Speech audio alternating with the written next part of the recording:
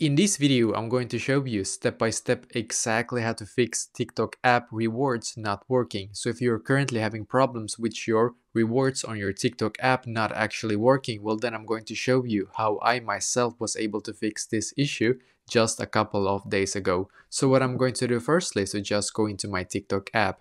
And as you can see, I'm currently on my TikTok app right here.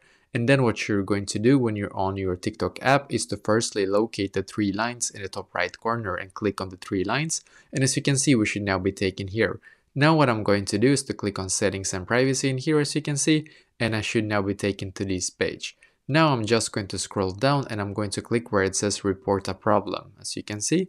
So we're going to click here and then we should be taken to this page right here which is perfect. So now we're going to scroll down and then click on TikTok balance in here as you can see and then you're going to click on live reward issues.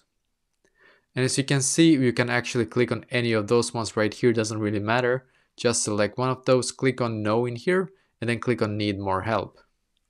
And now you're going to write exactly like this to the TikTok support. I am having issues with my TikTok rewards not working. I need this to be fixed so basically write exactly like this now to the TikTok support. I am having issues with my TikTok rewards not working. I need this to be fixed. Now click on submit also of course. And what will happen after this is that you will have to wait 24 to 48 hours for the TikTok support to be able to see this. For me, it took about 24 hours and then it was just fixed. You will get like a reply from TikTok support that it's going to be fixed. As you can see my ticket right here, it says open and you will get closed after they have actually fixed this for you. So 24 to 48 hours. About that, so wait uh, 24 to 48 hours and hopefully after that, this problem will be fixed for you.